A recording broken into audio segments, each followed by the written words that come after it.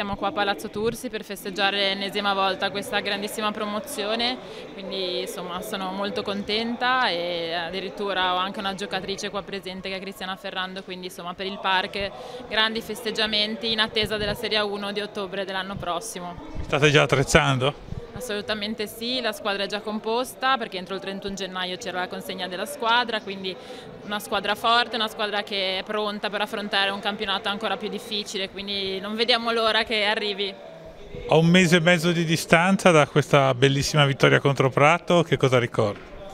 Ma eh, io continuo a riguardare immagini e video ancora dopo un mese e mezzo, quindi sicuramente grandi, grandi emozioni, grandi, grandi, brividi che ancora adesso sono proprio nella, nella, mia memoria, quindi durerà tutto un anno ma ce le porteremo dietro probabilmente come la più grande soddisfazione assolutamente personale e lavorativa che finora ho avuto. Sicuramente per me giocare per il park è una cosa veramente importante, mi sento parte di questa squadra, di parte di questo club, vado spesso anche in settimana, è proprio fa parte del mio cuore, quindi essere riuscita a portare a casa un risultato così importante per questo circolo per me significa tantissimo. Qual è stata la partita che ricordi con più piacere, la sfida?